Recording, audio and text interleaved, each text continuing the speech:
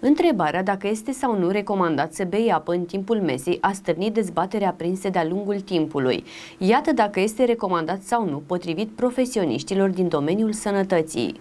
Apa este compusă din hidrogen și oxigen, iar corpul nostru nu ar putea realiza multe dintre funcțiile necesare pentru a rămâne în viață. Profesioniștii în domeniul sănătății recomandă în mod constant să fim hidratați. Cu toate acestea, rare ori se discută despre care este cel mai bun moment pentru a bea apă. Trebuie să ne amintim că organismul nostru este format din 50-70% apă. Depindem de ea pentru a trăi astfel, consumul zilnic este mai mult decât obligatoriu. De-a lungul anilor au fost efectuate mai multe studii care nu reușesc să stabilească ce cantitate este necesară necesară. Cu toate acestea, s-a stabilit că ar trebui să consumăm între 1,5 și 2 litri pe zi. Dar când este mai bine să bem? Este adevărat că este mai bine în afara meselor? Se spune că în timpul meselor nu este nevoie să bem atât de multă apă. Multe dintre alimentele pe care le consumăm în fiecare zi conțin deja cantități de apă. Cu toate acestea, Ministerul Sănătății din Spania a dorit să pună capăt mitului cu privire la momentul cel mai bun de a bea apă. Setea care apare în timpul meselor trebuie să fie potolită, atât pentru hidratarea noastră corectă, cât și pentru pentru a ne ajuta să percepem mai bine gusturile alimentelor pe care le consumăm, a transmis Ministerul Sănătății din Spania. Prin urmare, consumul de apă, așa cum avertizează Ministerul, nu ar trebui să depindă dacă există sau nu mâncare în preajmă. De aceea, profesioniștilor din domeniul sănătății recomandă să bem cantitatea de apă de care avem nevoie. Beneficiile apei sunt esențiale pentru organismul nostru. Toate acestea, consumul excesiv poate duce la hiponatremie. Aceasta apare atunci când nivelul de sodiu din sânge scade din cauza faptului că rinichii nu